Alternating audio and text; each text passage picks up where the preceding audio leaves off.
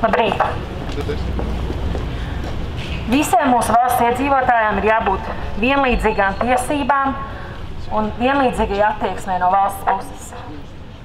No tiem, kas līdz šim nav atbalstījuši līdzinējos mēģinājumus pieņemt regulējumu, kas aizsargā visu veidu ģimenes, viens no argumentiem, kas izskan, ir, ka mums viena no, viena no vērtībām ir tradicionālā ģimene. Bet mēs nevaram noliegt to, ka mums pastāv dažādi veidi ģimenes Latvijā. Un viens no jautājumiem ir, kas šajā gadījumā ir svarīgāk?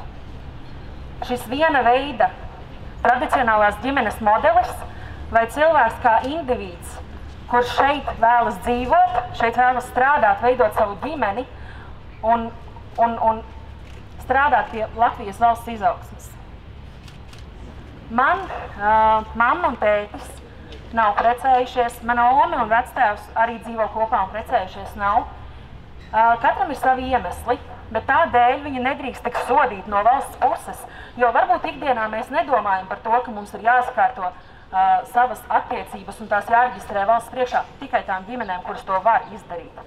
Taču situācijās, kurās diemžēl ikdienā nedomājot, gadās kaut kādi slikti notikumi, mums, mums būtu jāļauj valsts iedzīvotājiem justies aizsargātiem no valsts puses. Paldies!